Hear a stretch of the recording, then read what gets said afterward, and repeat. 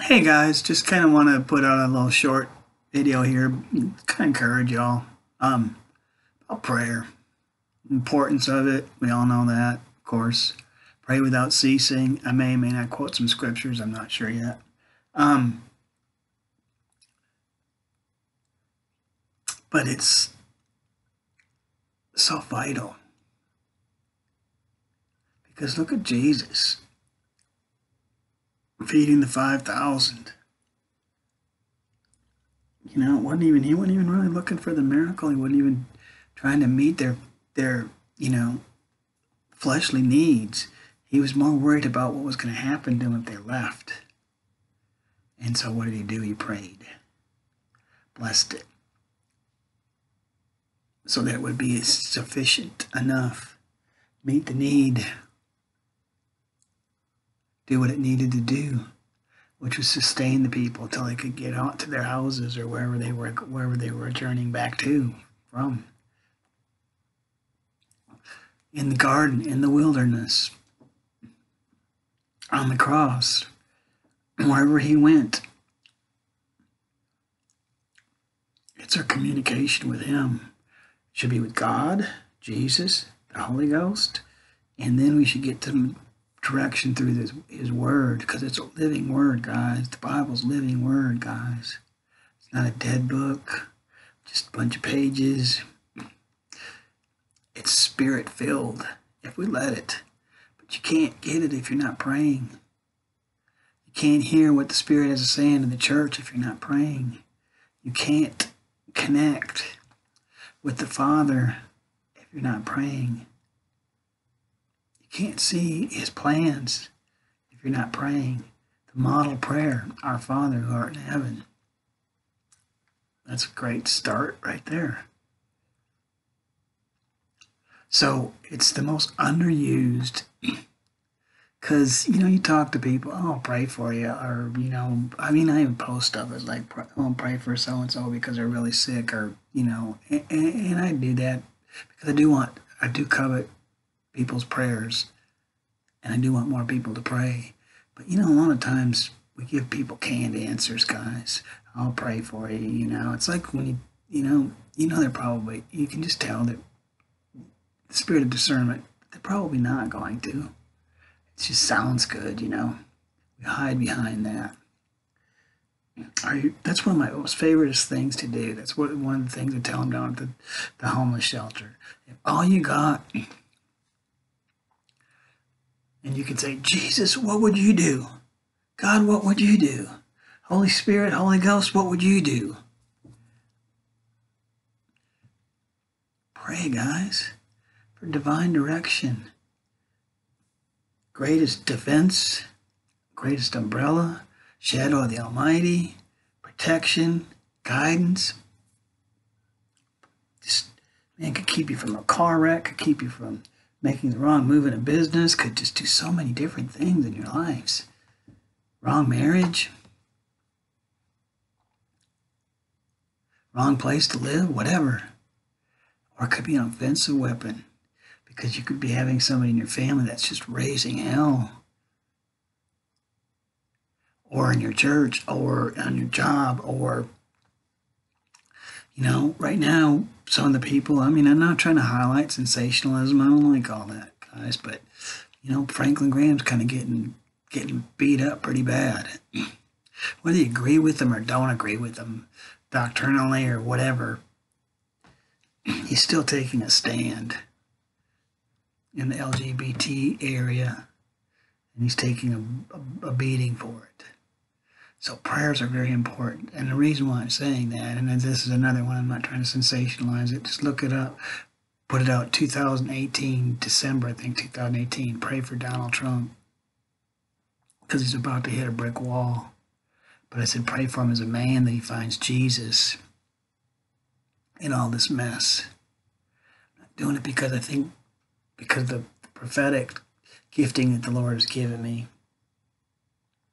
I'm saying it to encourage you to look and say, wow, you know, because I'm not the only one. There's millions of people now that are praying for him and have been praying for him in the past too. I'm saying it works, guys. That's my point. Not that, you know, the Lord showed me that. That's great and awesome, and sometimes, it, but that can sometimes go a little bit too far out there. What I'm saying is, pray, talk to God, communicate with Him, not just daily, hourly, but minute by minute, all day long. It's me. God, do I go left? Do I go right? Do I go to this store? Do I go to that store? What am I doing today, Jesus? Why am I here today, God? What, what's, what's, what's the purpose? What's the, what's your plan? Talk to somebody, not talk to somebody. So many things we can bring before Him in prayer, guys. That's what's going to change things. Because then He gets the glory not us. and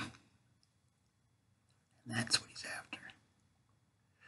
That small, still place, that quiet place, your secret place nobody knows. I, you know, I kind of have to tell a little bit because I'm a watchman and I'm doing it because I'm also to encourage people. I'm doing it to encourage people to just get them in the right direction. So it's just, you know, I give I'm trying to give examples on a lot of my videos and stuff because of that.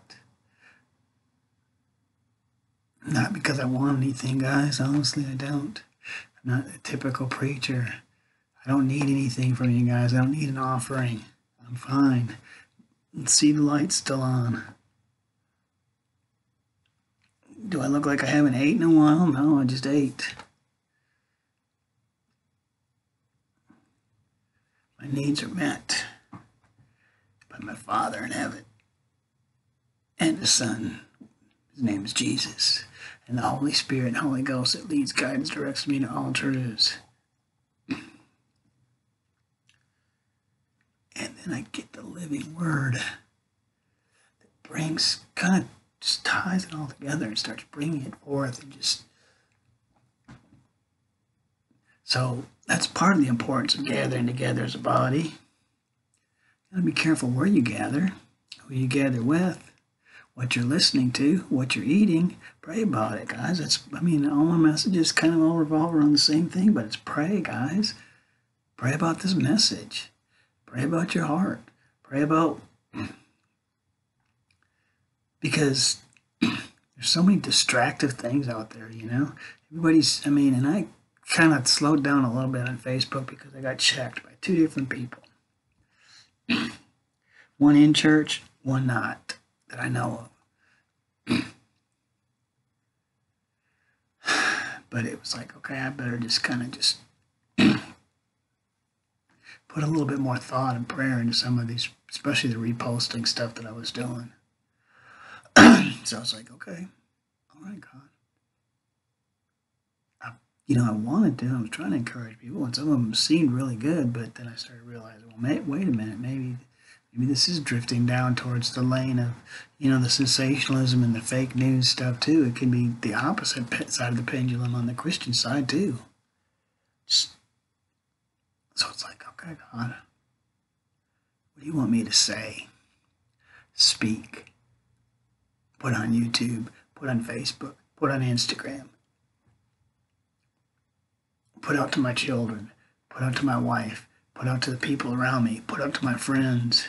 If you um, if you haven't got it, prayer, guys, it's probably a muddled up, mixed up bag of bones and dirt and just garbage, literally. Everybody's barking about so much stuff.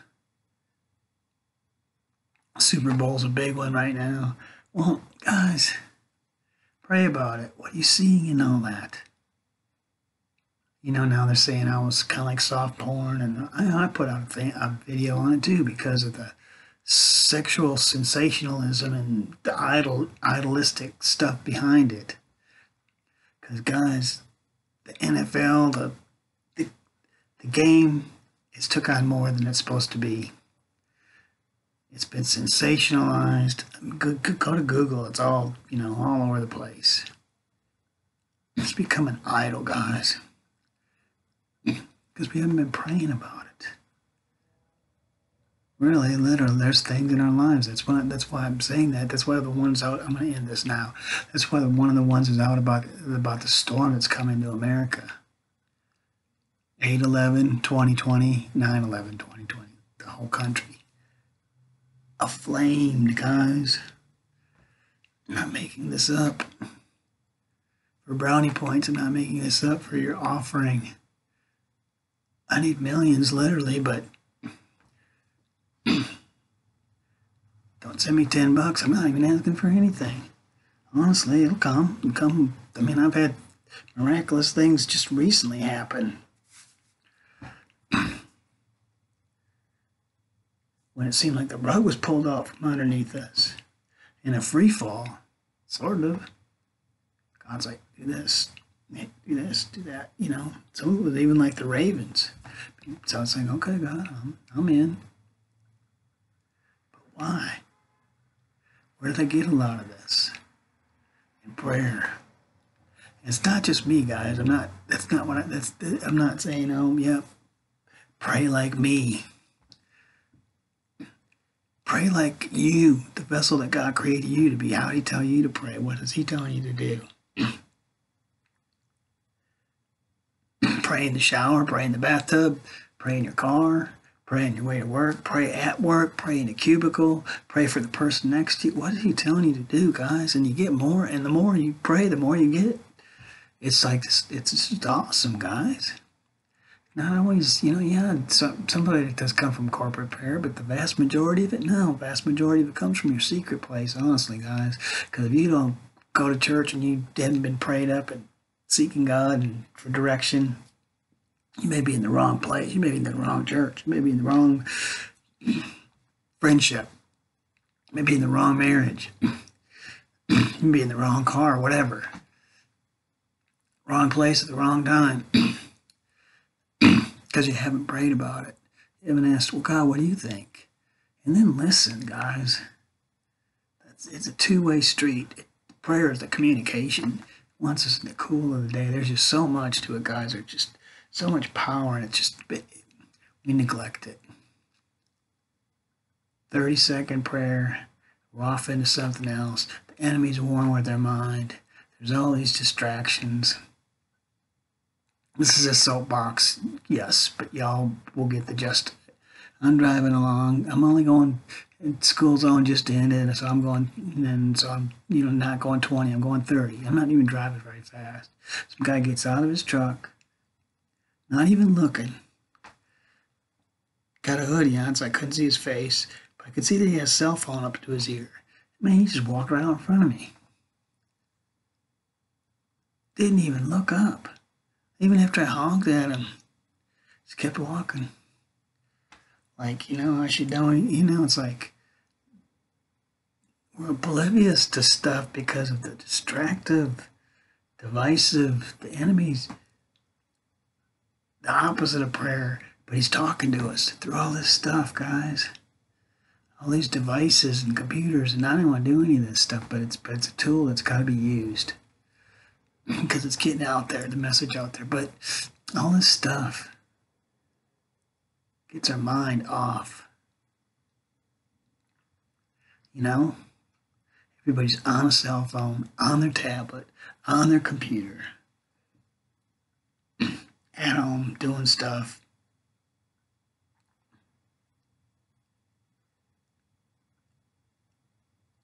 Everywhere you go.